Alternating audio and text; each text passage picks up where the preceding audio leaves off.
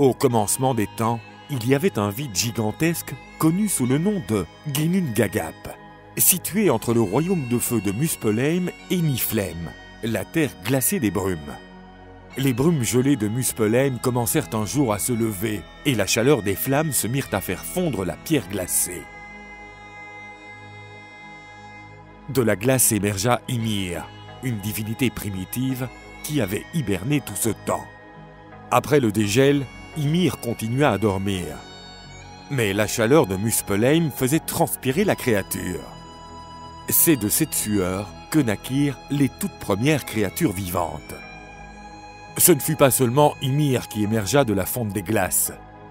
Une grande vache du nom d'Odumbla s'en dégagea également. De ses pieds affluèrent quatre rivières qui suffiraient à nourrir Ymir. La vache se sustentait en léchant un bloc de glace salée, et alors que la glace était à peu près consommée, une nouvelle créature apparut. Cet être s'appelait Buri, géniteur des dieux. Alors qu'Ymir dormait, il continua à générer la vie, donnant naissance aux Jotunes. Buri s'unit avec une géante pour donner la vie à Bor. Bor se joignit à la géante Bestla, union qui ferait naître Odin, Vili et Vé.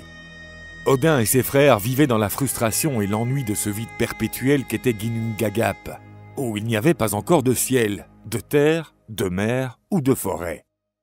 Les frères décidèrent qu'il fallait faire quelque chose.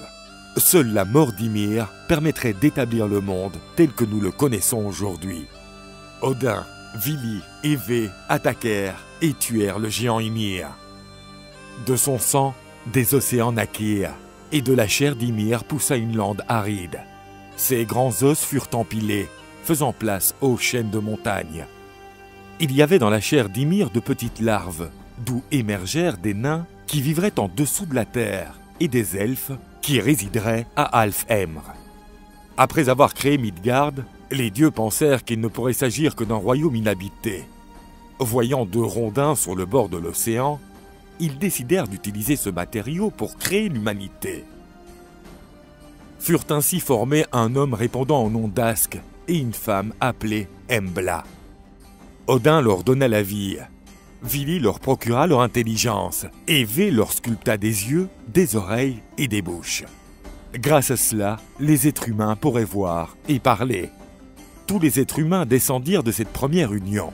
Puisqu'il avait donné vie à ce premier couple, Odin fut connu comme le père de tous.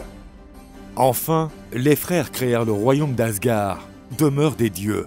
Le royaume était séparé des autres, bien qu'il y fût relié par le pont de Bifrost. Ce fut le début du règne des dieux sur le monde.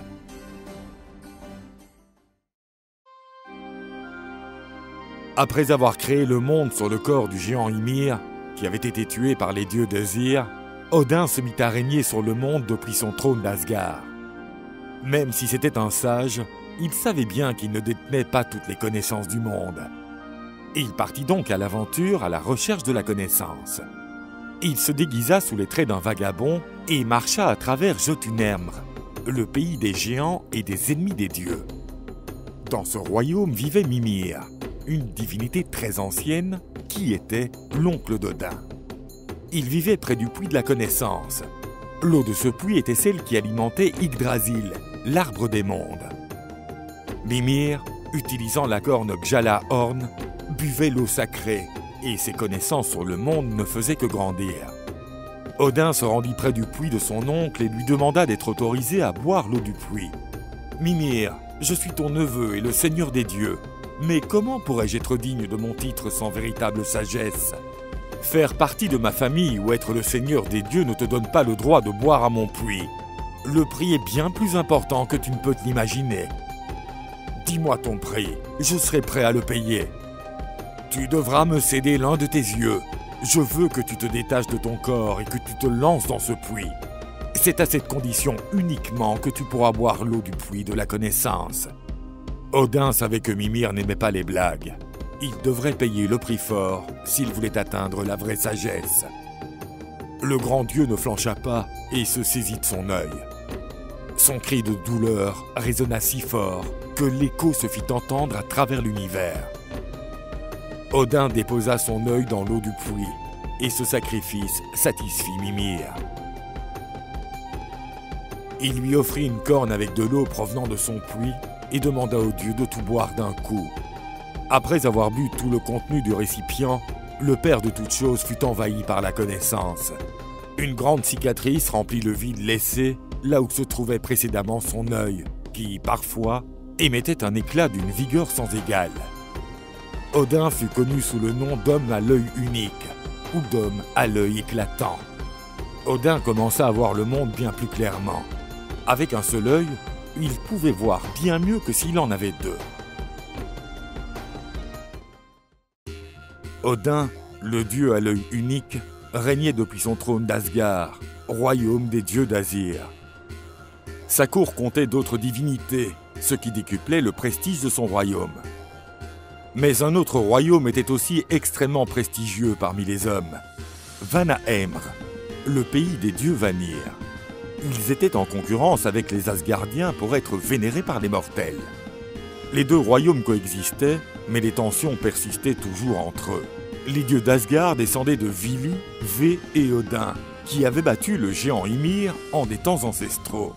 L'origine des dieux Vanir était inconnue. En plus d'Odin, Thor et Loki faisaient partie des divinités les plus importantes d'Asgard.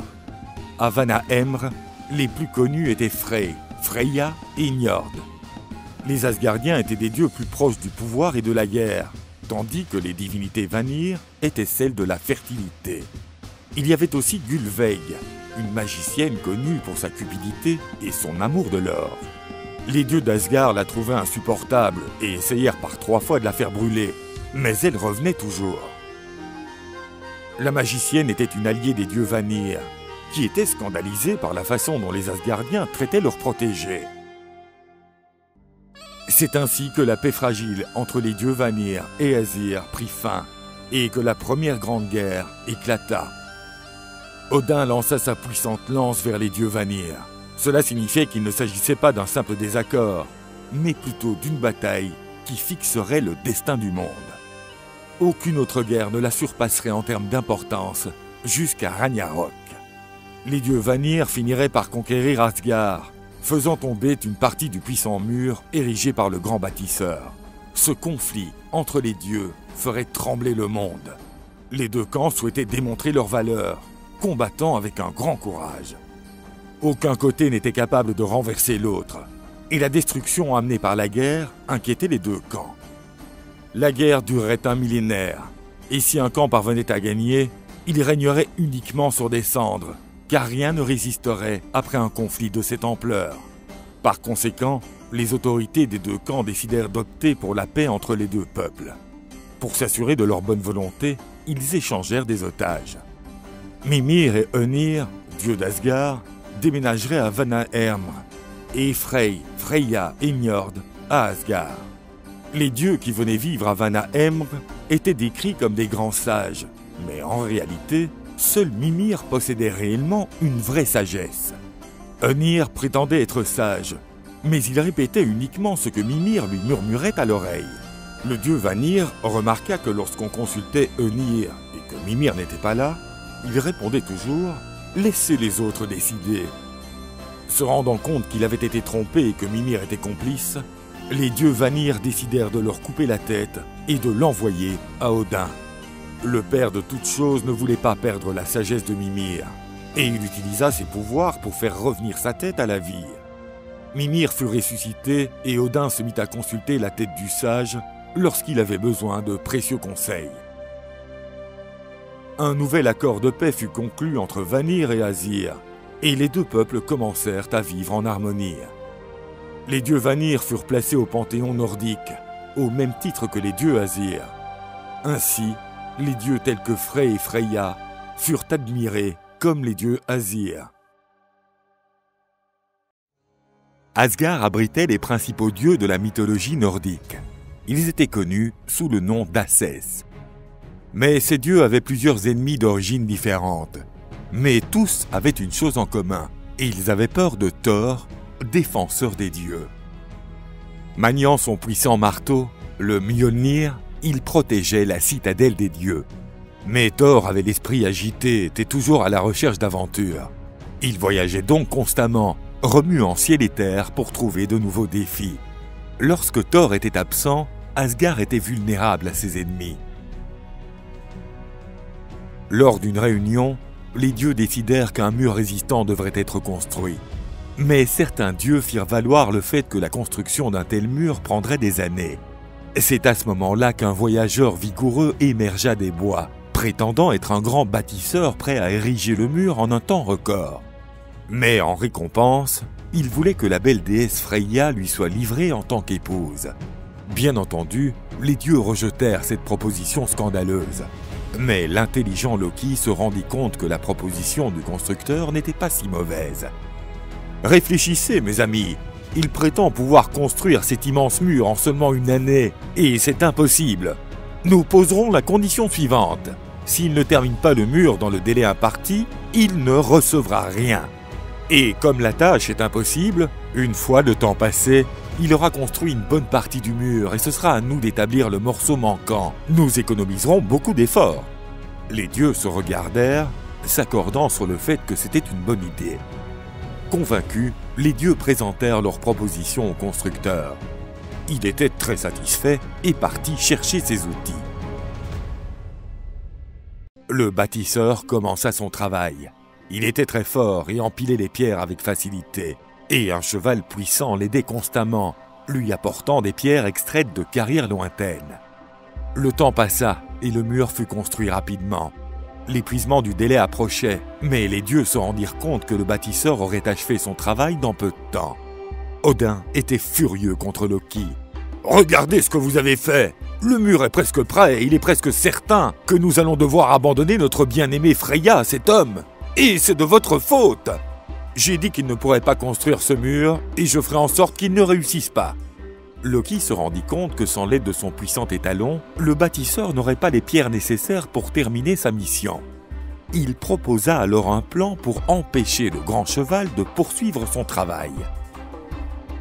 Le dieu, malin, utilisant son pouvoir de métamorphose, se transforma en une belle jument avec l'intention de séduire le grand cheval. Le puissant cheval fut fasciné par le dieu déguisé.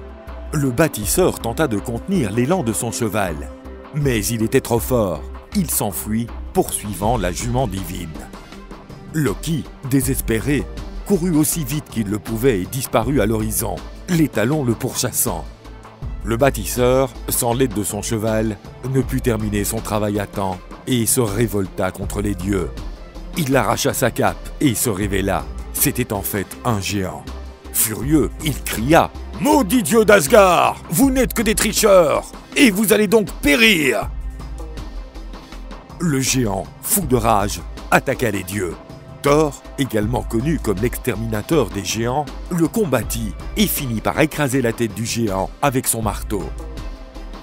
Les dieux terminèrent le reste du mur. Asgard fut alors en sécurité. Cependant, beaucoup de temps s'écoula avant le retour de Loki, qui avait disparu après avoir tenté d'échapper au puissant cheval. Cela prit du temps, mais le dieu revint finalement. Il amena avec lui un poulain exotique à huit pattes qui suivait Loki partout où il allait. Loki offrit le poulain à Odin, lui assura que lorsqu'il grandirait, il deviendrait le cheval le plus rapide et le plus puissant qui ait jamais existé. Il ne fit qu'une seule demande. Jamais personne ne devrait lui demander l'origine du cheval majestueux, qui deviendrait connu sous le nom de Sleipnir.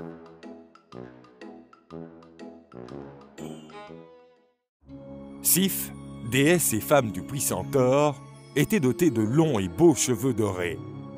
Parmi les caractéristiques de la déesse, ses cheveux étaient celles qui attiraient le plus le dieu du tonnerre.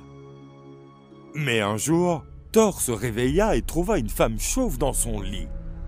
Il cria Qui es-tu, sorcière? Et qu'as-tu fait à ma belle Sif Que t'arrive-t-il, mon amour? Ne me reconnais-tu pas? Je suis ta femme le dieu, abasourdi, reconnut sa femme et hurla. Loki Ses cris résonnèrent dans tout le royaume d'Asgard. Dans la nuit, Loki, le dieu de la malice, s'était adonné à un nouveau tour. Alors que la déesse était endormie, il avait coupé sa belle chevelure. Le dieu du tonnerre tira Loki jusqu'à sa chambre, où Sif était en sanglots. Regarde un peu ce que tu as fait. Comment as-tu pu oser couper les cheveux de ma femme? Maintenant, je vais devoir me montrer avec une femme chauve à mes côtés. N'as-tu pas pensé qu'il serait possible de lui faire porter un chapeau? Thor souleva Loki de terre et lui dit Si tu ne trouves pas le moyen de redonner à Massif toute sa splendeur, alors je briserai chacun de tes os. Confronté à cette menace, le dieu de la malice se mit à réfléchir à un moyen de régler le problème. C'est là qu'il eut une idée. Il partit pour Svartalfheim, territoire des elfes. Il savait que les elfes étaient capables de faire n'importe quoi, mais pour qu'ils l'aident, il faudrait d'abord les convaincre. Il se mit à la recherche des frères Ivaldison, qui étaient d'habiles artisans. Les trouvant, il leur dit Avez-vous entendu les dernières nouvelles? Les dieux organisent un concours pour élire les meilleurs artisans, et les frères Brock et Etri ont affirmé que vous, fils d'Ivaldi, n'auriez pas la moindre chance de gagner. C'est une honte Avec leurs mains maladroites, ils ne pourront rien faire face à nous. Très bien. Pour participer, la consigne est que vous devez offrir trois cadeaux aux dieux. Et l'un d'eux devra être une longue chevelure dorée qui n'arrêtera jamais de pousser. Loki se mit en route pour retrouver les frères Brock et Etri et les pousser à participer à la compétition. Vous ne me croirez peut-être pas, mais les frères Ivaldison vont prendre part à un concours organisé à la demande des dieux, qui permettra de sélectionner les meilleurs artisans. Ils ont dit que vous n'aviez pas la moindre chance face à eux, car vous n'étiez que des malhabiles.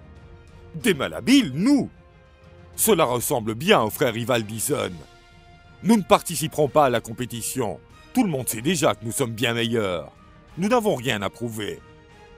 Je parie que vous ne ferez pas mieux que les frères Ivaldison je parierais ma propre tête sur leur victoire. La tête de l'un des dieux les plus fugaces. Cela me semble être un prix bien victorieux. J'accepte le défi. Loki eut une sueur froide, mais il ne revint pas sur ses mots et accepta le pari. Il savait néanmoins que Brock et Etri étaient plus doués que les frères Ivaldison.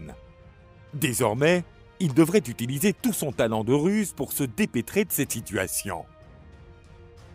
Les frères Ivaldison avaient commencé à préparer leurs cadeaux pour les dieux, et Loki remarqua que tout semblait bien se passer. Mais le dieu se rendit vite compte que l'autre équipe concevait des pièces éblouissantes. Loki comprit alors qu'il devrait intervenir. Brock et Eitri avaient déjà construit deux magnifiques cadeaux, et le troisième serait certainement l'objet le plus grandiose.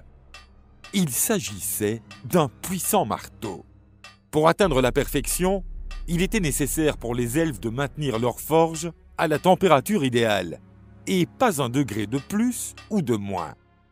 Pour y arriver, Brock devait appuyer à intervalles réguliers sur son soufflet, avec une grande précision. Loki se rendit compte qu'il devait agir furtivement, et se transforma en un grand moustique hématophage. Il volta vers Brock et lui piqua violemment la main.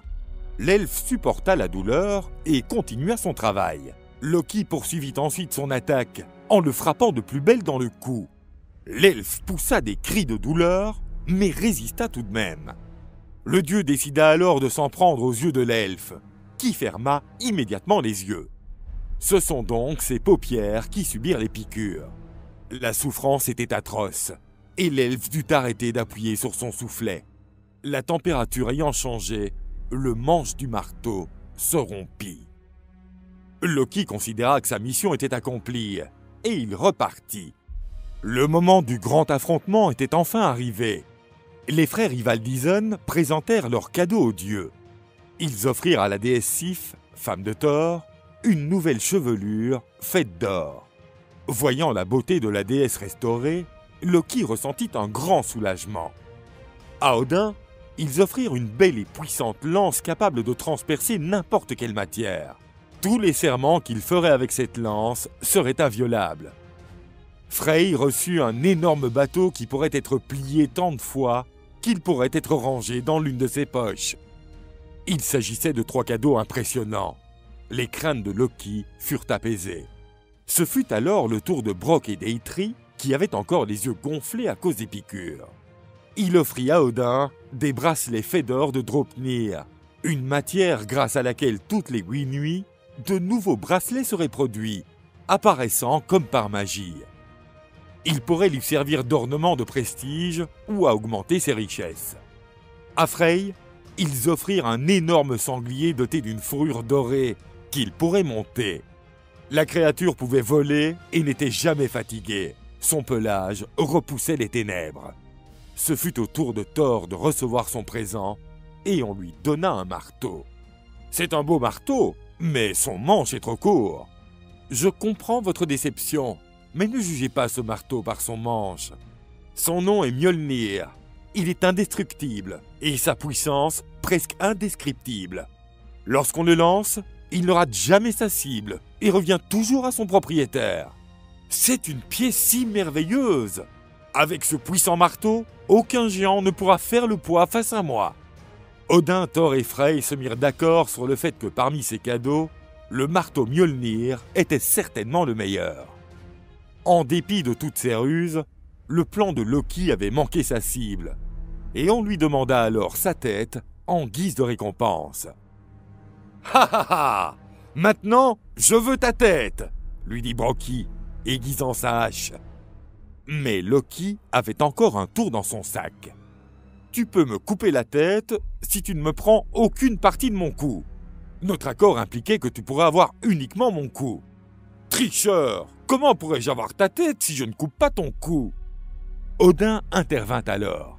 Si les gens faisaient plus attention aux mots utilisés, ils ne négocieraient jamais avec Loki le tricheur. Brocky, pour punir Loki, lui cousit la bouche, de telle manière à ce qu'il ne puisse plus jamais tromper personne. Mais le tricheur put tout de même garder la tête sur les épaules. Et les dieux d'Asgard avaient reçu de magnifiques artefacts. Thor, le dieu du tonnerre, avait reçu le puissant marteau Mjolnir en cadeau grâce à la ruse de Loki. Avec cette arme, il défendait le royaume d'Asgard, paré à toutes sortes de menaces. Mais un jour, au réveil, Thor eut l'impression que son marteau avait disparu. Le roi chercha Mjolnir dans toute la pièce et y trouva uniquement un message qui disait Si vous voulez retrouver le marteau que vous chérissez tant, rendez-moi visite en mon antre. Nous négocierons vous pourrez l'obtenir en échange d'une rançon convenable. Signé Trim. Thor savait que personne ne négociait mieux que Loki, le roi de la malice. Il lui demanda donc de se présenter au rendez-vous avec Trim dans le royaume des géants. Loki arriva au palais de Trim.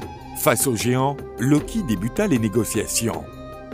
Cher Thor, approchez-vous. Ma vue n'est plus aussi bonne que par le passé.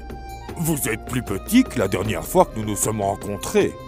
Loki vit que le géant avait en effet des difficultés à bien voir, la différence de taille entre lui et le dieu du tonnerre étant énorme. Après avoir négocié, le roi revint à Asgard avec la proposition de Trim. Il le présenta au dieu Acèse. Le géant accepterait de lui rendre son marteau si Freya, la plus belle de toutes les déesses, lui était livrée comme sa femme. Les dieux furent d'accord pour dire que cette proposition était scandaleuse. Mais sans le marteau Mjolnir, Thor ne pourrait plus défendre Asgard. C'est à ce moment que Loki eut une idée pour le moins inhabituelle. Thor, il faut que tu portes cela. Il s'agissait d'une robe de mariée. Comment oses-tu m'insulter ainsi? Calme-toi, calme-toi Je t'expliquerai mon plan plus tard. Loki savait que la vue du géant était aussi bonne que celle d'une taupe.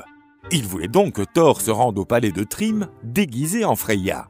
Sans aucune autre alternative, Thor s'habilla en marié et partit avec Loki, lui aussi déguisé en une servante de la déesse Freya. Lorsqu'ils arrivèrent à Jotunheim, ils furent très bien reçus. Bienvenue en mon palais.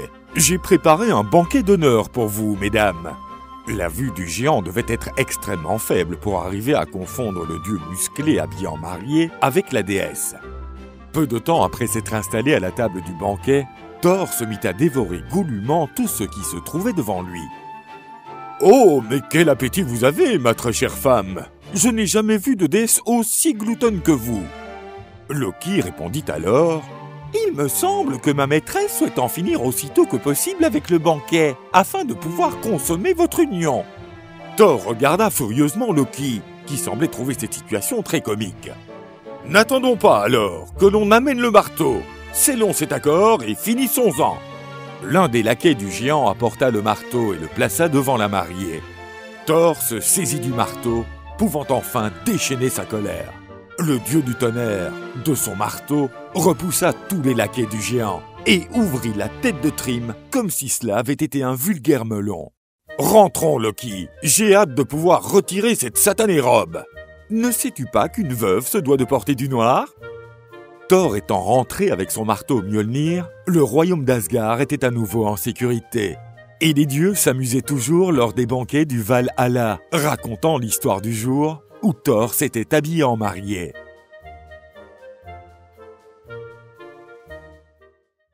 Loki, dieu de la malice dans la mythologie nordique, prenait part à de nombreuses aventures amusantes.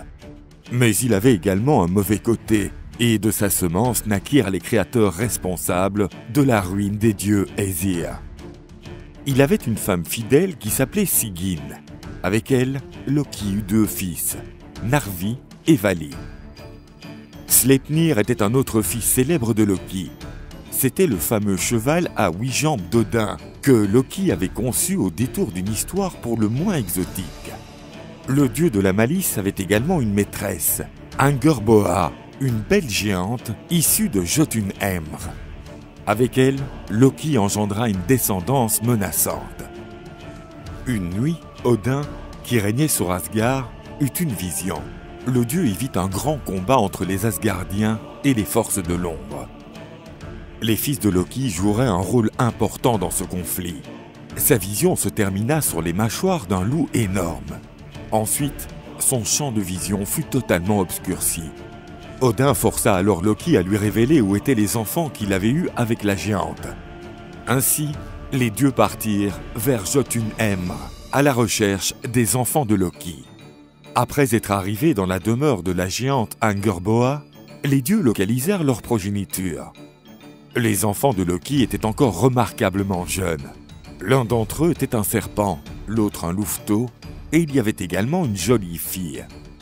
Lorsqu'elle se tourna vers eux, les dieux se rendirent compte que l'autre moitié de son corps consistait en un cadavre en décomposition. Cette fille s'appelait Hel, et il s'agissait d'une créature repoussante. Les dieux prirent les enfants des bras d'Angorboa et les transportèrent vers Asgard. Le voyage pour Asgard prit un certain temps, et Odin remarqua que la taille du serpent avait doublé. Ce qui était auparavant un serpent ordinaire atteignait déjà la taille d'un python Odin se rendit compte que le serpent n'arrêtait pas de grandir et qu'il deviendrait extrêmement dangereux. Il jeta donc le serpent dans la mer étendue qui entourait Midgard. Les années passèrent et le serpent devint si grand qu'un jour, il trouva sa propre queue après avoir entouré le monde. La progéniture de Loki devint connue sous le nom de Jormungandr. À Asgard, elle n'était appréciée par aucun dieu certains en avaient peur. Odin, remarquant que la jeune fille préférait se rapporter aux morts plutôt qu'aux vivants, la désigna comme maîtresse du monde des morts. Elle commença à régner sur les âmes de ceux qui avaient connu une mort indigne et n'avaient pas atteint la Valhalla. Le louveteau, pour sa part, commença à être élevé par les dieux d'Asgard et apprit la langue des dieux. Il s'appelait Fenrir le dieu Tyr commença à se rapprocher du loup et devint ami avec lui. Tout comme sa sœur serpent, le petit loup continuait à grandir. Il devint très vite plus grand qu'un taureau, et il ne fallut pas longtemps avant qu'il devienne plus grand que n'importe quel autre animal sur Terre. Fenrir hérita des traits de caractère les plus flatteurs de Loki, son père, notamment sa méchanceté et sa cruauté. Après en avoir discuté, les dieux s'en rendirent compte qu'il fallait faire quelque chose. Un loup de cette taille pourrait uniquement être une menace pour les habitants d'Asgard. Les dieux décidèrent ainsi de créer un plan pour neutraliser le danger. Le puissant Fenrir continuait de grandir, et les dieux d'Asgard le surveillaient constamment. Tous les dieux considéraient la bête avec une grande méfiance, à l'exception de Tyr. le seul dieu qui avait formé des liens d'amitié avec le loup. Les divinités d'Asgard forgèrent de puissantes chaînes pour essayer de retenir Fenrir. Et pour lui cacher leurs intentions, les dieux dirent au loup qu'ils avaient un défi pour lui. Fenrir, même s'il était gigantesque et maléfique, avait tout de même un esprit joueur et adorait pouvoir s'amuser. Les Asgardiens le mirent au défi de se débarrasser des chaînes construites par les dieux. Fenrir accepta. Les dieux enchaînèrent la bête gigantesque, mais les puissantes chaînes furent inutiles face à la force du loup. De nouvelles chaînes furent créées, encore plus solides que les premières. Le loup les repoussa avec force, et les chaînes semblèrent assez puissantes pour retenir le loup colossal. Les dieux se regardèrent entre eux, satisfaits. Mais Fenrir surprit tout le monde. Il avait rassemblé encore plus ses forces et avait détruit les chaînes. Les dieux furent ébahis par la force sans limite du loup. Fenrir remarqua la détresse dans les yeux des Asgardiens, signe qu'il préparait quelque chose. Il ne semblait n'y avoir aucune corde ou chaîne qui serait capable de contenir la force de la créature. Mais Odin savait que les nains pourraient y arriver. Odin ordonna à l'elfe Skirnir de se rendre sur les terres des nains, leur demandant de créer un artefact capable de contenir le loup. Les nains acceptèrent et envoyèrent la liste des ingrédients pour construire un tel objet. Ces ingrédients étaient étranges. Il y avait par exemple des racines de montagne, un tendon d'ours, une barbe de femme, de l'haleine de poisson, de la salive d'oiseau et enfin le son des pas d'un chat. Ayant reçu ces ingrédients, les nains se mirent au travail. On donna au dieu d'Asgard une corde qui semblait être faite de soie, mais son pouvoir ne résidait pas dans son apparence. On mit encore une fois Fenrir au défi de rompre ses liens, mais le loup semblait plus suspicieux cette fois-ci. Observant la corde des dieux, il soupçonnait une trahison. Odin assura au loup qu'il ne s'agissait que d'une blague. Mais le loup et Odin ne s'entendaient pas, et puisqu'il était le fils de Loki, Fenrir pouvait sentir le mensonge dans l'haleine d'Odin. Le loup dit qu'il participerait à la blague uniquement si le dieu osait mettre sa main dans sa bouche pendant qu'il était retenu. S'il s'agissait d'une trahison, il lui dévorerait sa main sans une once d'hésitation. Les dieux se jetèrent des regards entre eux, confirmant les suspicions du loup. Tyr, le dieu qui nourrissait toujours Fenrir, et avec qui l'animal avait formé une certaine amitié, proposa de mettre sa main dans la bouche du loup. Fenrir accepta d'être attaché à nouveau par les dieux. Le loup lutta pour se libérer de ses liens, mais toute sa force ne suffit pas à rompre la puissante corde créée par les nains. Fenrir remarqua la satisfaction des dieux et regarda Tyr, le seul qui n'avait pas l'air jovial. Puis le loup se rendit compte qu'il avait été trahi par les dieux, et même par son seul ami. Fenrir referma sa mâchoire autant qu'il le put, arrachant la main de Tyr. Le dieu endura cette douleur sans même pousser un grognement. Le courageux Tyr fut célébré pour son sacrifice. Fenrir fut attaché fermement à une pierre. Les dieux d'Asgard furent enfin soulagés d'avoir neutralisé une telle menace. Le loup hurla de rage, insulta les dieux, criant qu'ils auraient pu être amis. Mais avec cette trahison, ils seraient désormais les plus grands ennemis. Fenrir promit qu'il chercherait à affronter Odin sur le champ de bataille pendant Ragnarok afin de pouvoir se venger. Les dieux Thor et Loki voyageaient autour du monde dans le char de Thor tiré par de puissantes chèvres. Les dieux s'étaient mis en route vers le royaume des géants à la recherche de nouvelles aventures. Plutôt, ils firent halte dans une humble maison où les dieux voulaient passer la nuit les dieux furent reçus avec hospitalité par les habitants. Mais en raison de leur pauvreté, ils n'avaient rien à offrir aux dieux comme nourriture. Thor leur dit de ne pas s'inquiéter, car il organiserait un grand repas. Le dieu abattit ses chèvres et utilisa la viande des animaux pour préparer un repas digne d'un dieu. Il dit que ses hôtes pouvaient manger autant qu'ils le voulaient. Ils devaient seulement laisser les os intacts. Pendant que tout le monde se régalait de la délicieuse viande de chèvre, Loki décida de poser un de ses pièges. Il se rapprocha du jeune habitant de la hutte, connu sous le nom de Tchalfi, et lui dit qu'il ne trouvait pas juste que Thor garde toute la délicieuse moelle des os pour lui seul, car ce délice donnait une grande force à celui qui l'ingérait. Les os restants étaient jetés sur la peau des chèvres abattues. Le jeune garçon eut envie de goûter à ce mets délicat. Il attendit que tout le monde soit endormi et brisa un des os pour en goûter la moelle. Le lendemain, Thor accomplit un rituel et ramena les chèvres à la vie. Cependant, l'une d'entre elles boitait, car elle avait une patte cassée et ne pouvait pas toucher le sol avec sa patte. Thor était furieux. Il prit son puissant marteau et hurla, disant que ces gens étaient ingrats.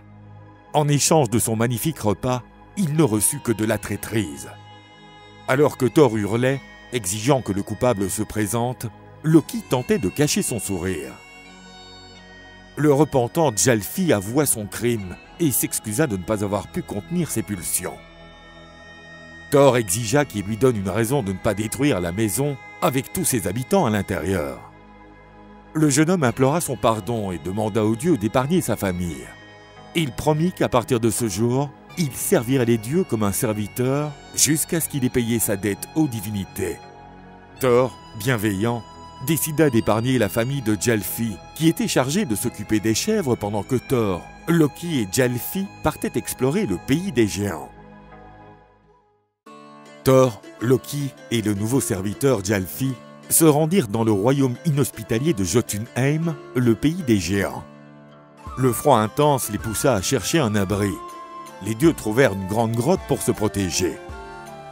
Les voyageurs tentèrent de se reposer, mais un grand bruit secouait la terre. Thor quitta la grotte pour enquêter et escalada le sommet d'une montagne pour avoir une meilleure perspective.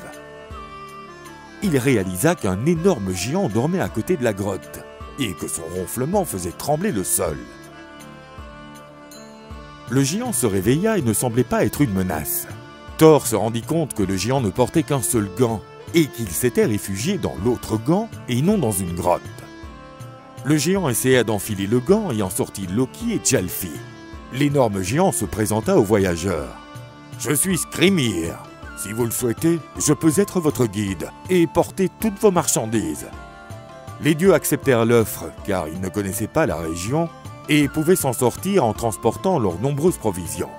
Skrimir mit tout dans sa sacoche et commença le voyage. Le géant fut rapidement fatigué et décida de faire une sieste. La nuit, les voyageurs commencèrent à avoir faim.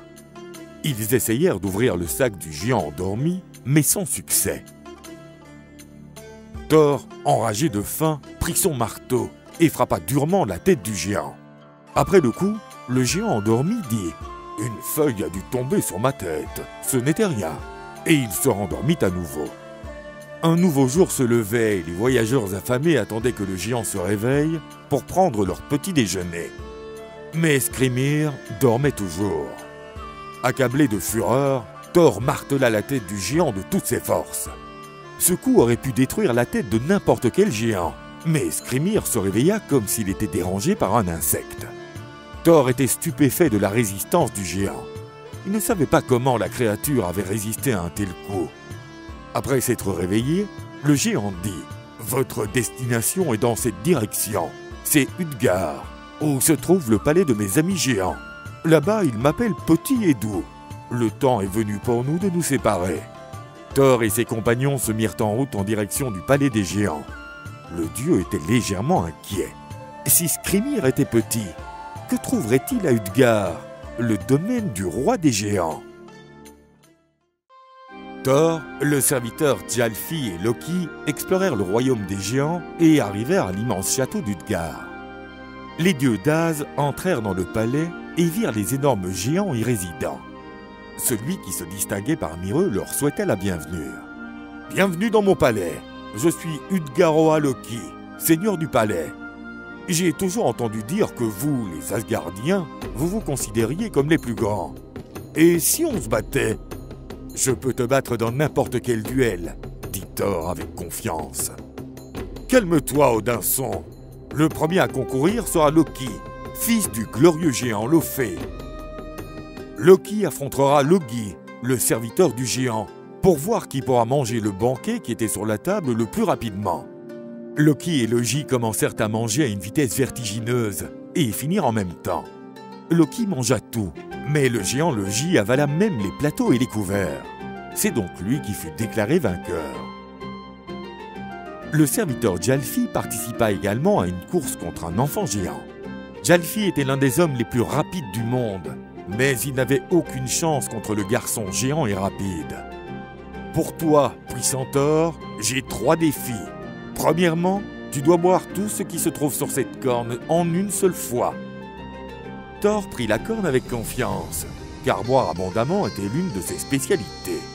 Le dieu but le liquide salé jusqu'à sa limite, sans s'arrêter.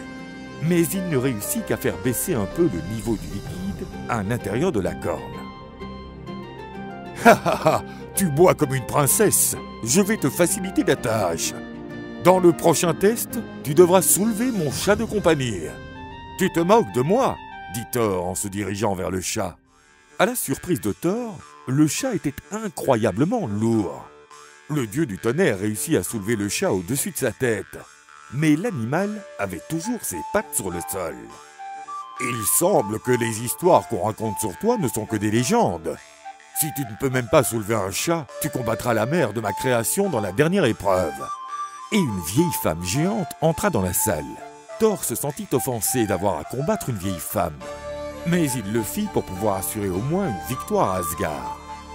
Le combat commença, et Thor fut surpris par la force de la vieille femme géante. Le dieu utilisa toute sa force contre l'ancienne et la victoire semblait assurée. Mais la vieille femme réussit à mettre le puissant Thor à genoux. Les dieux et leurs serviteurs furent vaincus. Ils quittèrent le palais d'Utgard, la tête basse. Le roi des géants escorta les Asgardiens jusqu'aux limites de son territoire. En leur faisant ses adieux, il dit Maintenant que nous sommes seuls, je vais te confesser un secret. Je t'ai trompé depuis le début. Le roi des géants dit qu'il s'était déguisé en Skimir, le guide qui avait conduit Thor et ses compagnons le long de Jotunheim. Et que, s'il ne l'avait pas fait en utilisant la magie, il serait mort. Lorsque Thor essaya de frapper la tête du géant avec son marteau, le dieu frappa une montagne, transformant la colline en vallée. Loki, tu t'es aussi fait avoir par une illusion. Tu t'es battu contre un feu, et le feu dévore tout sur son passage. Et, Jalfi, tu as couru contre une pensée. Bien que tu sois très rapide, rien n'est plus rapide qu'une pensée. Et quelle ruse as-tu utilisée contre moi dans ton palais? dit Thor, exigeant une explication. Maintenant que nous n'avons plus de public, je peux te féliciter pour ta force et ta détermination. Le géant expliqua que la corne utilisée par Thor était reliée à l'océan. C'était incroyable que Thor ait réussi à faire baisser le niveau de la mer de quelques mètres. Quant au chat, il soulevait Jormungand, le serpent du monde. Et le fait que Thor ait réussi à soulever une partie du serpent du sol était un énorme accomplissement. Mais ce qui impressionna le plus le géant, c'est que Thor faillit battre la vieille femme, qui était la vieillesse. Et le temps vint tout. Thor détestait être trompé. Il aurait écrasé le géant si celui-ci n'avait pas utilisé la magie pour disparaître avec le château, craignant la vengeance du dieu. Les dieux retournèrent à Asgard. Thor savait que vaincre la vieillesse ou boire toute l'eau de l'océan était impossible. Mais vaincre le serpent du monde était faisable. Et Thor commença à désirer de rencontrer et de vaincre le serpent colossal Jormungand. Les dieux d'Asgard étaient venus visiter le palais d'Agir, une divinité de la mer particulièrement vénérée par les marins. Les banquets tenus dans ce palais étaient légendaires, car un hydromel formidable y était servi. Mais Agir n'était pas d'humeur à organiser un grand festin pour les dieux il inventa une excuse. J'aurais beaucoup aimé vous accueillir avec toute mon hospitalité, mais puisque vous êtes si nombreux, je n'aurai pas la possibilité de produire l'hydromel que vous désirez tant en quantité suffisante. Pour satisfaire tous les dieux, il faudrait disposer d'un gigantesque chaudron. Sans celui-ci, ce sera impossible. Tyr, dieu de la mer dont le père était un énorme géant nommé Ymir, savait que son géniteur disposait d'un gigantesque chaudron qui correspondrait aux besoins d'agir. Tyr et Thor décidèrent de partir à la recherche du géant. Lorsqu'ils arrivèrent à la maison du géant, les dieux d'Asgard furent accueillis par la mère de Tyr. le dieu demanda à sa mère de leur prêter le gigantesque chaudron. Mais elle leur répondait que Tyr devrait faire plaisir à Ymir, que ce serait le moyen le plus simple d'obtenir ce qu'il voulait. Le géant Ymir invita les dieux à manger. Thor était connu pour être très gourmand, et il ne fit que confirmer sa réputation en dévorant un bœuf complet. Face à cette scène, le géant dit Je m'en vais pêcher des baleines, car je n'ai pas envie d'être connu comme l'autre qui n'a pas su nourrir ses invités. Thor voulut accompagner le géant pour sa sortie de pêche, mais Ymir n'en avait que faire. Ce n'est pas là une mission pour les minuscules résidents d'Asgard. Le dieu du tonnerre se sentit défié et affirma qu'il était meilleur pêcheur que quiconque le géant poussa son bateau dans l'eau et ils partirent à la pêche. Les dieux se dirigèrent vers le large à la recherche de grosses proies. Ymir attrapa rapidement quelque chose et devant la force requise, le géant pensa que ce serait quelque chose d'exceptionnellement grand.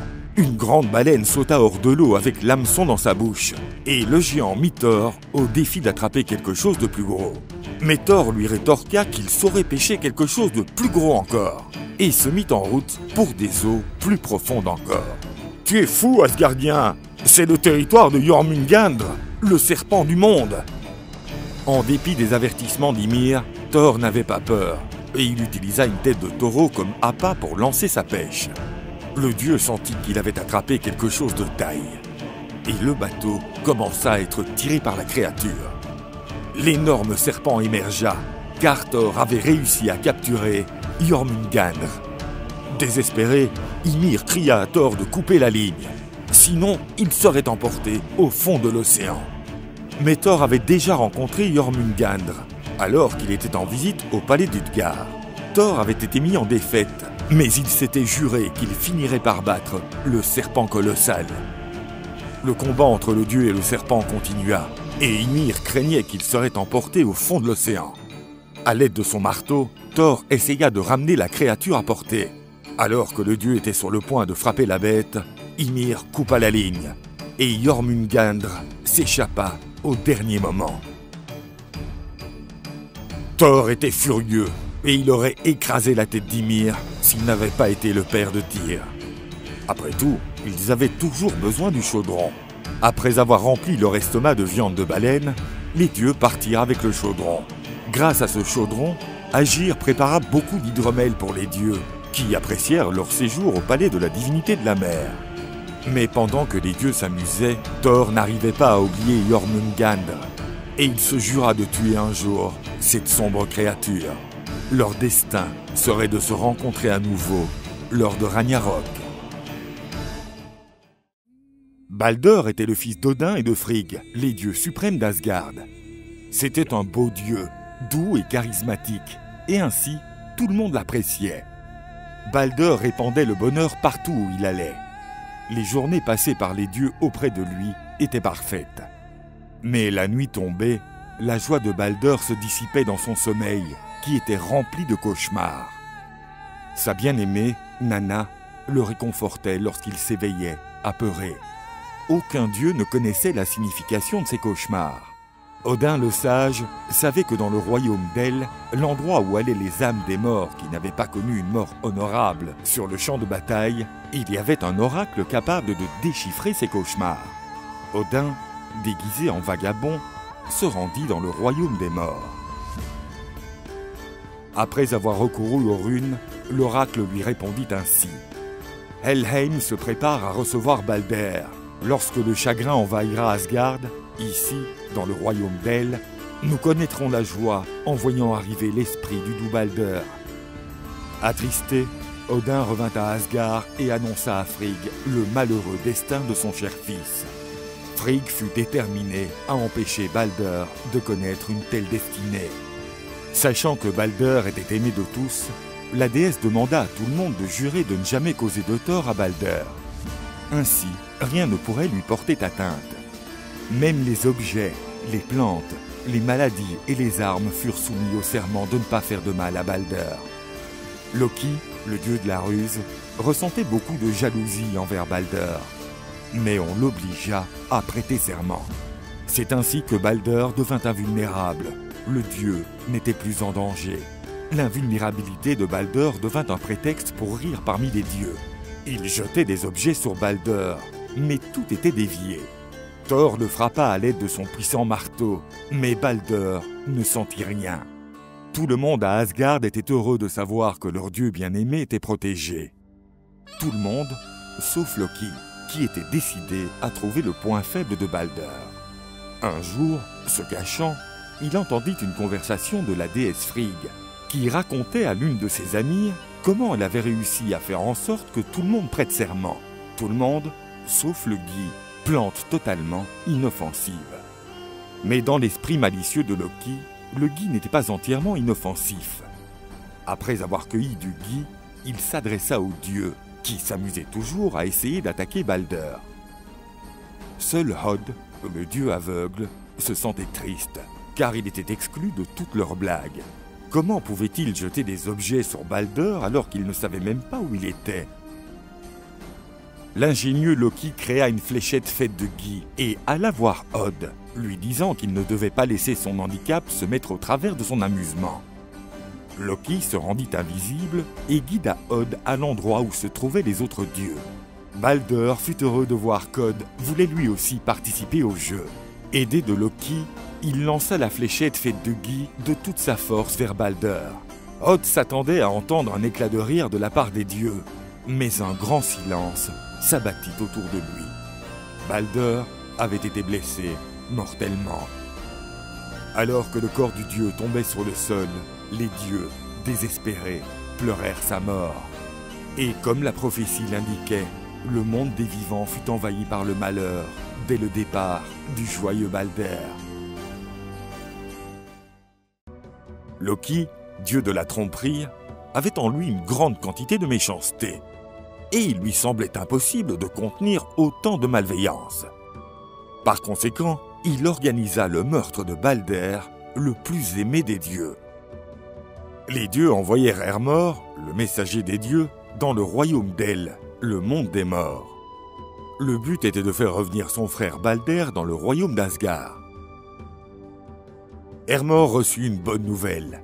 La déesse Elle souhaitait faire revenir Balder au royaume des dieux Azir, mais uniquement si tous les êtres pleuraient la mort du dieu et souhaitaient son retour.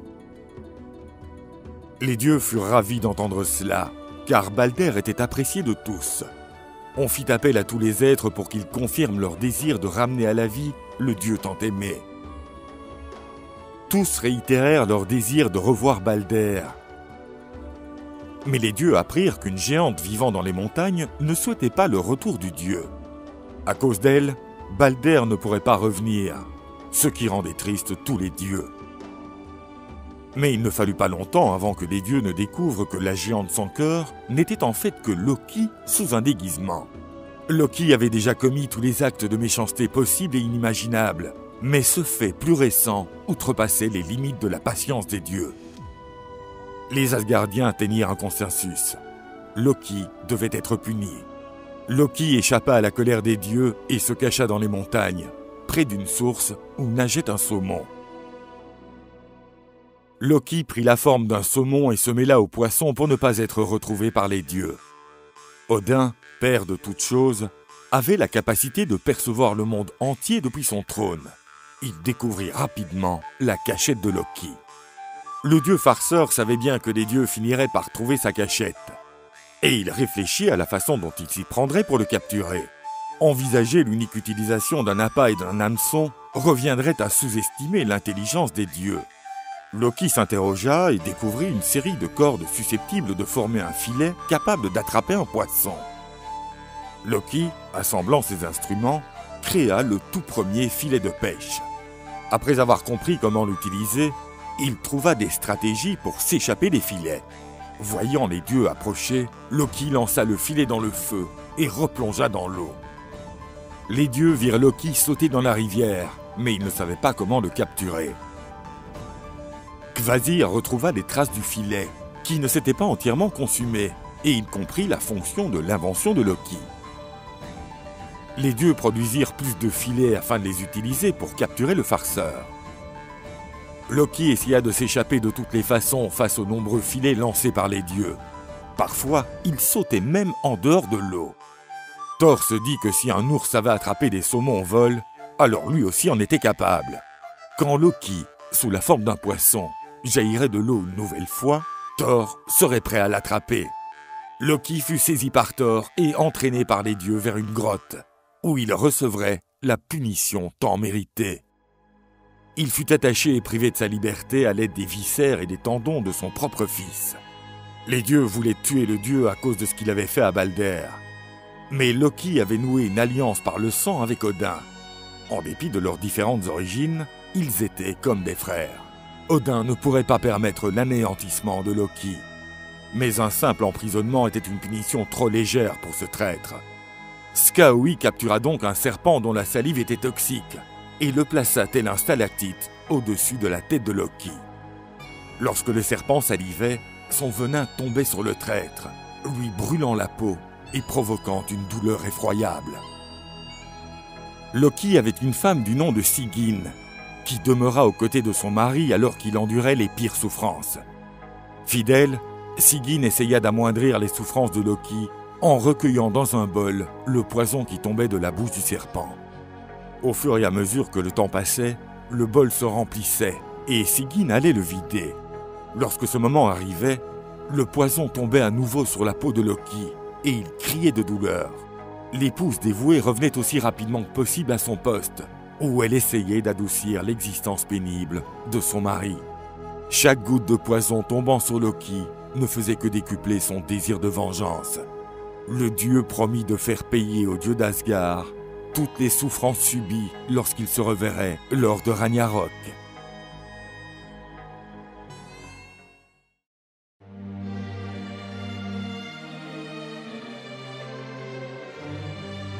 À Midgard habitaient des hommes qui descendaient d'Ask et d'Embla, le premier couple humain créé par les dieux.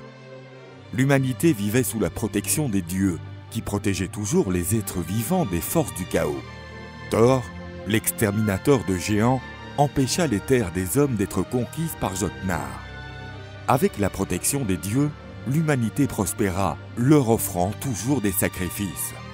Ces hommes étaient habitués à résister à la rudesse de l'hiver, se préparant toujours à faire face aux difficultés que cette longue saison glacée leur imposait. Mais même les hommes savaient que le règne des dieux ne pourrait pas durer pour toujours, et que les divinités d'Asgard auraient des difficultés à lutter contre les forces du mal lors du Ragnarok.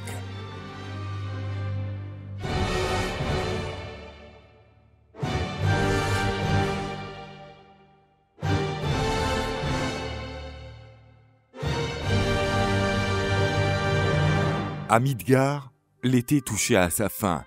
Tout indiquait que les hommes pouvaient se préparer à faire une récolte de taille. Mais un vent froid commença à souffler, et le gel inattendu détruisit une grande partie des cultures.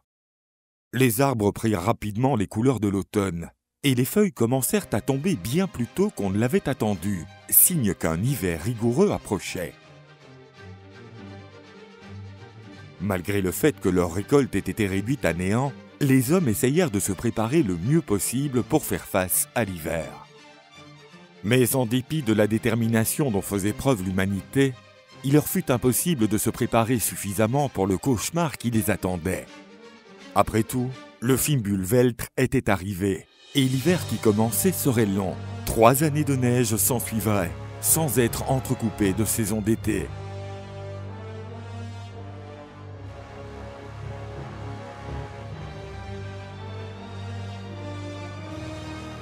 Les hommes et leurs animaux de ferme se protégèrent du froid intense dans leurs abris, essayant de survivre à la bise glacée.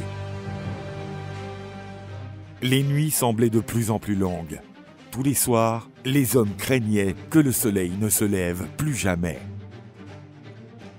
Leurs réserves de nourriture s'épuisaient, et poussés par la faim, ils durent manger toutes les poules qui leur donnaient des œufs, et même leurs animaux de compagnie.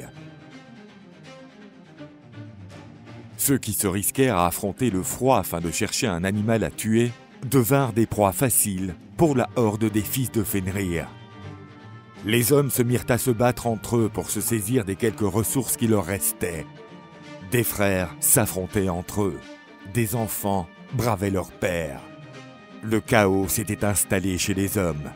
Les haches de guerre ruisselaient de sang. Le manque de nourriture poussa les gens au cannibalisme. Les quelques êtres humains encore en vie tombaient peu à peu. À Asgard, les dieux Azir se rendirent compte que l'ultime combat entre les dieux et les forces du chaos approchait. Ce cataclysme deviendrait connu sous le nom de Ragnarok, le crépuscule des dieux. Après trois hivers pratiquement interrompus, le chaos avait atteint le royaume des hommes. Peu survécurent à la sanglante anarchie qui suivit. Les conditions annonçant le début du Ragnarok selon la prophétie étaient rassemblées. Deux loups, enfants de Fenrir, traversèrent le ciel, poursuivant le soleil et la lune. Le loup Hati pourchassait la lune, alors que Skoll tourmentait le soleil? Les divinités qui personnifiaient les deux étoiles réussirent longtemps à échapper au loup.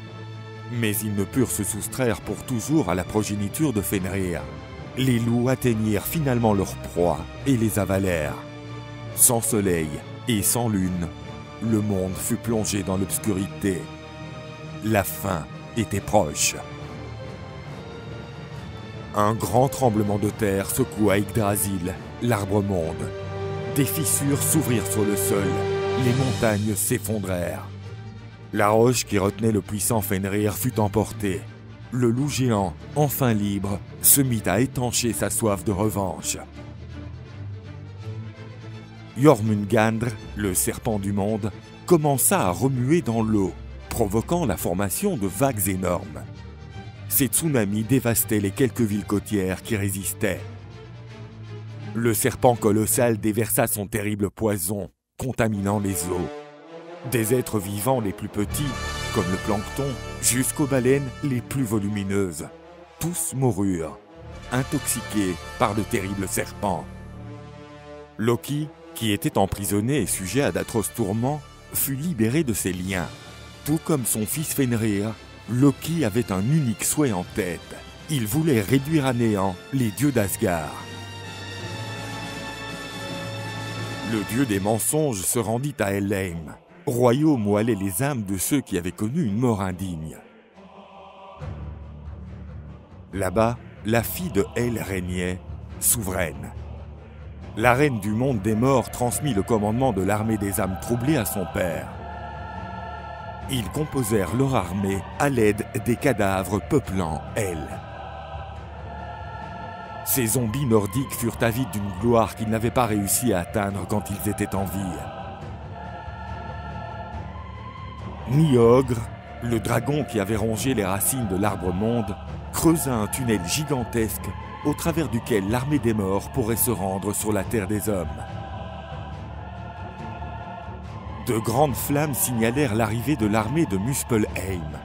Les géants de terre de feu étaient menés par Sutre le Noir, qui brûlait tout sur son passage à l'aide de son épée enflammée.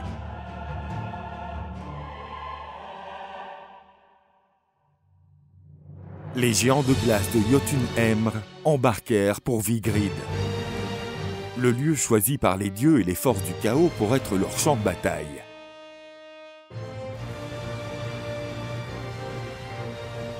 Heimdall, le messager des dieux, n'avait plus aucun doute. Ragnarok avait commencé. Le dieu souffla enfin dans la corne Xalahorn et le son fut entendu à travers l'univers tout le monde fut effrayé d'entendre son alerte. La fin des dieux Azir approchait. La grande bataille pouvait commencer.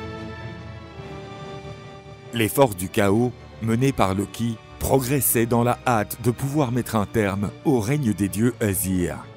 Ils feraient tout ce qui était en leur pouvoir pour arriver à leur fin. Les dieux d'Asgard savaient que la grande bataille était inévitable. Pendant des millénaires, ils s'étaient préparés pour ce grand jour. Les portes du Valhalla s'ouvrirent et des milliers de guerriers apparurent, formant la grande armée d'Odin. Les guerriers les plus courageux composaient cette armée. Toute leur vie, ils avaient combattu vaillamment sur les champs de bataille. ils furent menés par les Valkyries aux portes du Valhalla, où ils patientèrent que l'occasion se présente de faire preuve de leur courage lors de leur combat auprès des dieux lors du Ragnarok. Tous les dieux capables de manier une arme rejoignirent les combattants.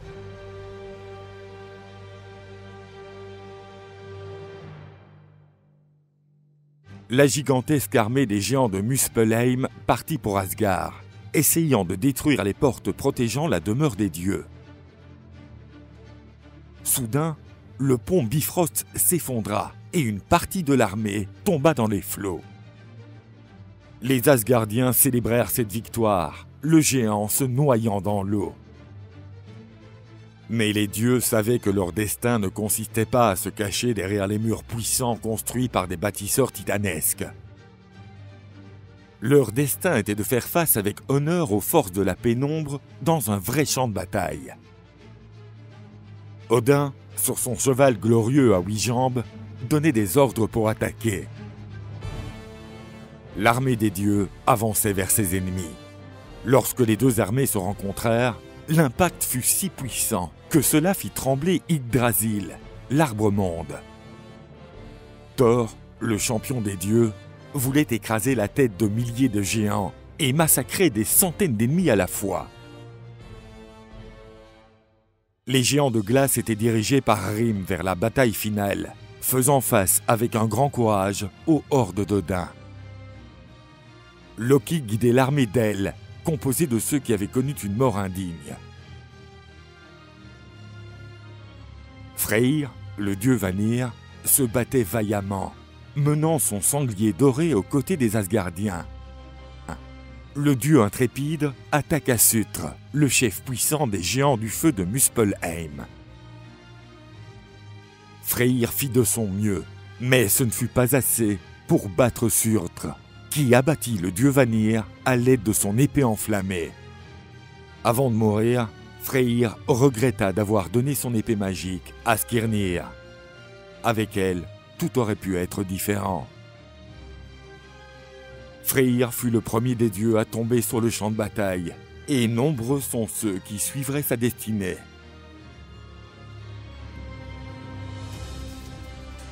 Tyr, le dieu guerrier qui avait sacrifié sa main pour que les dieux puissent arrêter Fenrir, tomba aussi face à Garm, le loup puissant de Hel qui défendait le monde des morts. Mais avant sa mort, Tyr réussit tout de même à planter son épée dans le cœur de la bête infernale. Le champ de bataille fut secoué lorsque Jormungandr, le serpent de Midgard, arriva pour combattre. La créature expira un nuage de gaz empoisonné, capable de tuer les combattants des dieux. Lorsqu'il vit le serpent, Thor fut rempli d'enthousiasme. Cela faisait longtemps qu'il attendait le combat décisif contre son vieux rival. L'affrontement entre Thor et Jormungandr fut épique. Le serpent géant essaya d'avaler le héros d'Asgard pendant qu'il déviait tous ses coups et répliquait par son puissant marteau. Le dieu du tonnerre réussit à mettre Jormungandr hors d'état de nuire, l'ayant blessé. Thor asséna un coup mortel à la tête du serpent.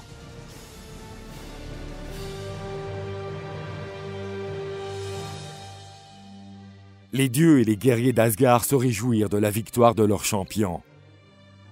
Néanmoins, le coup de Thor fut si puissant que les poches de poison de Jormungandr éclatèrent, laissant échapper un nuage empoisonné autour de Thor.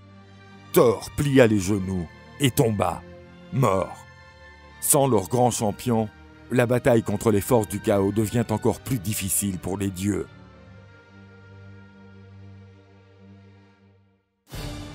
Fenrir, loup gigantesque et fils de Loki, dévorait tous ceux qui s'opposaient à lui. Mais ce qu'il désirait le plus était retrouver Odin, son ennemi mortel. Le roi suprême d'Asgard savait que sa destinée était de se battre contre le fils de Loki, et il ne voulait pas échapper à cet affrontement. Odin transperça Sleipnir et avança vers Fenrir.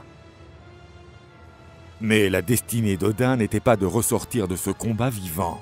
Fenrir ouvrit grand sa gueule et dévora le père de toutes les choses.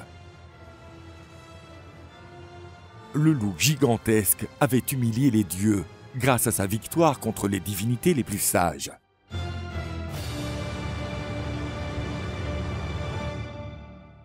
Cette provocation remplit de haine le cœur de Vidar, fils d'Odin. Cette colère lui donna une puissance sans limite. Vidar attaqua Fenrir, qui essaya de le maîtriser. Vidar plaça ses pieds sur la langue du loup et ses bras forts arrachèrent ses dents. Sa puissance était telle qu'il réussit à déchirer la gueule de Fenrir en deux morceaux. Le loup gigantesque mourut. Malgré la mort de ses fils, Loki était satisfait du carnage, regardant les dieux tomber les uns après les autres. Heimdallr, le gardien du pont arc-en-ciel, s'avança à travers l'armée de Hel, ouvrant le chemin pour Loki. Heimdallr et Loki se rencontrèrent pour un duel, et le combat eut l'apparence d'une danse mortelle. Loki et Heimdall se heurtèrent plusieurs fois. Le duel ne pouvait avoir de vainqueur. Ils moururent tous les deux. Le géant Sutre mit le feu au monde avec son épée. Les flammes avalaient tout ce qui se trouvait sur leur passage. Aucun combattant ne pourrait rester parmi les vivants, et non plus du côté des morts. Seules les cendres peupleraient la terre. Les flammes atteignirent Asgard et plongèrent les palais dans des rivières de feu le niveau des océans augmenta, inondant abondamment les terres. Plus rien ne restait à la surface.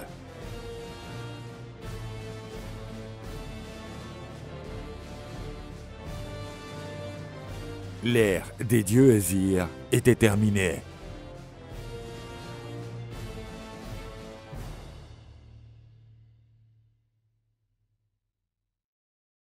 Au bout d'un moment, les eaux qui avaient envahi les terres se retirèrent et les plantes purent pousser à nouveau.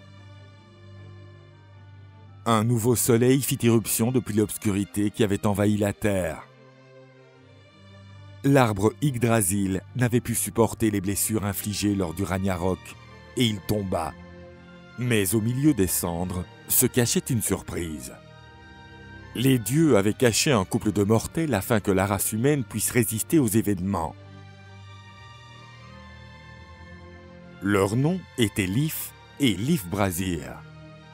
Grâce à l'amour de ce couple, le monde put à nouveau être peuplé. Le royaume d'Asgard avait disparu, mais le nouveau royaume d'Ioavolr prendrait sa place. Les six dieux prirent leur place à Ioavolr, les fils d'Odin, Vidar qui avait tué Fenrir, et son frère Vali. Les fils de Thor, Magni et Moi, prirent la responsabilité du marteau appartenant auparavant au dieu du tonnerre, afin de défendre le nouveau royaume. Depuis le royaume des morts, Baldr, le plus beau des dieux, ainsi qu'Od, les rejoignirent pour occuper leur place. C'est ainsi que, se rappelant des anciennes traditions, ils discutèrent de l'avenir, voulant éviter les erreurs du passé. Les dieux trouvèrent des pièces d'or utilisées par les anciens dieux pour jouer. Et tout comme leur père, ils commencèrent un nouveau tour de leur jeu ancestral. Un nouveau cycle avait commencé.